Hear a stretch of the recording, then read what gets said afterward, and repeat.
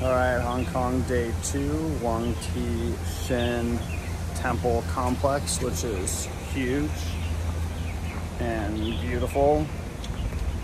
A lot of people here, Golden Week. Got here by the MRT, which is like their subway, which is insanely clean, insanely efficient, quiet. It's the most quiet public transit I've ever been on in my entire life by a lot. Took me about 30 or 40 minutes, but I, you know, I'm on the Northern Island now, so it was like on a decent distance. So easy to navigate. This temple complex is actually crushed right now. Finally found a little area where there weren't too many people, but about to go do a hike and uh, get after it. Started hiking up from the temple complex, trying to get to the MacLehose Trail through Lion something or other. It's been quite an adventure. A uh, lot of monkeys, which has been cool. A lot of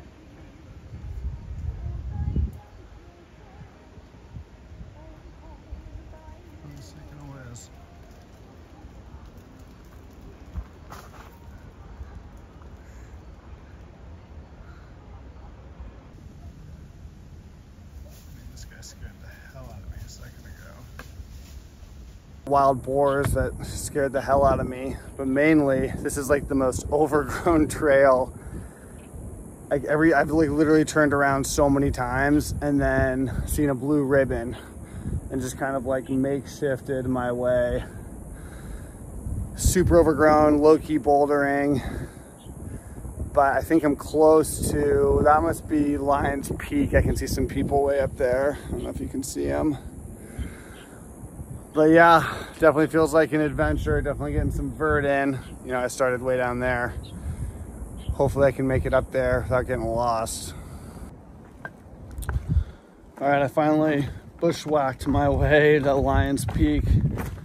2.2 miles, averaging 53 minutes a mile, which is unheard of slow.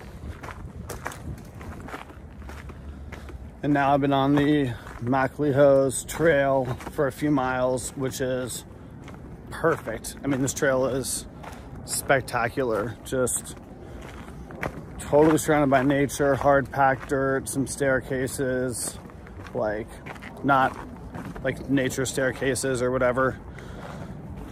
This is a this trail goes for a hundred kilometers. There's actually a hundred kilometer race on it, which I'm in no position or condition to do. But if slash when I return to Hong Kong, I definitely want to hammer out some more sections of this and run it, not hike it. I mean, it's spectacular. And every now and then you get some incredible views of Hong Kong, which I'm coming up to right now. But this trail's a home run.